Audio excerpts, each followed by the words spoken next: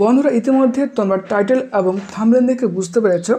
আজকে কোন টপিক নিয়ে কথা বলব? হ্যাঁ বন্ধুরা, আজকে দুটি টপিক নিয়ে কথা বলব। একটি তোমাদের রয়েছে ডাব্লিউপি তার রেজাল্ট বের হবে কবে? সঙ্গে তোমাদের রয়েছে আফগান মেন্স পরীক্ষার রেজাল্ট বের হবে কবে?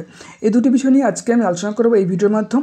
বন্ধুরা, ইতিমধ্যে রয়েছে আমার অফিসিয়াল ওয়েবসাইট অর্থাৎ WB police dot gov in এখানে পর পেজটিকে সিম্পলি একটু স্ক্রল ডাউন করবে। স্ক্রল ডাউন করার পর এখানে তোমরা দেখতে পাচ্ছ অন স্ক্রিনে ডেট সাত এক দু হাজার বাইশ।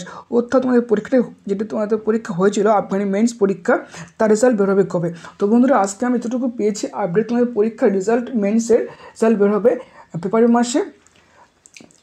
লাস্ট উইকে অথবা তোমাদের রেজাল্ট বের হতে পারে মার্চে ফার্স্ট উইকে তোমাদের রেজাল্ট বের হবে। এতটুকু পেয়েছি আজকে আপডেট আচ্ছা এরপর তোমরা বলছো বারবার জিজ্ঞাসা করছ এবং ফোন করছ যে, এবং হোয়াটসঅ্যাপ মেসেজ করছ বারবার যে, দাদা রেজাল্ট যে ডাব্লিউপি রেজাল্ট বের হবে কবে?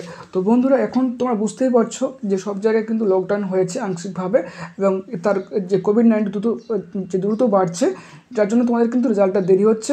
কিন্তু অলরেডি তোমাদের সমস্ত কাজ কমপ্লিট হয়ে আছে একটাই কারণ যে কোভিড নাইন্টিন হয়েছে, যার জন্য একটা মূল কারণ। সেকেন্ড কারণ ডাব্লিউপির জন্য একটা কেস হয়ে পড়ে আছে। ঠিক আছে? তারা ভাবছে যদি তার রেজাল্ট এখন পাবলিশ করে, তাহলে কিন্তু কী হবে? সেক্ষেত্রে কিন্তু অনেকের তো এক মাস পরে কিন্তু তার মাঠ হবে। ঠিক আছে? তো অনেকে আসতে পারবে না, যার জন্য একটা কিন্তু যে তোমার রেজাল্টটা দেরি হচ্ছে। তোমাদের কিন্তু রেজাল্ট এখন সঠিক তথ্য জানা যায়নি। তবে তোমার বলতে পারি এটাই যে কোভিড নাইন্টিন সুস্থ এবং সুস্থ যে ঠিকঠাক হয়ে যাওয়ার পর তোমাদের কিন্তু রেজাল্টটা বের হতে পারে। তবে যে কবে বের হবে ঠিক বলা যাচ্ছে না। তবে বলা যাচ্ছে একটাই কারণ যে কিন্তু কেসটা আগে হয়ে যাক।